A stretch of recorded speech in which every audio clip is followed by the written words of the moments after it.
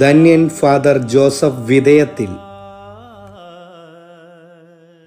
ദിവ്യകാരുണ്യ ഉപാസകൻ. വിശുദ്ധ മറിയം ത്രേസ്യയുടെ ആധ്യാത്മിക നിയന്താവ്. ഹോളി ഫാമിലി സന്യാസിനി സമൂഹ സഹസ്ഥാപകൻ.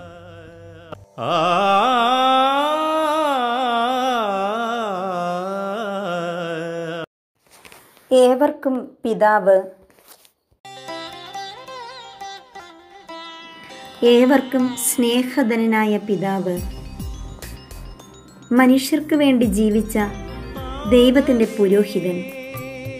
നാടിന്റെയും നാട്ടുകാരുടെയും ഹൃദയസ്പന്ദനമായി മാറി ജാതി മതഭേദമന്യേ ദേശവാസികൾക്കെല്ലാം വത്സല പിതാവായി തീർന്ന വിശുദ്ധ വ്യക്തിത്വം. ധന്യൻ ജോസഫ് വിദയത്തിൽ പിതാവ്.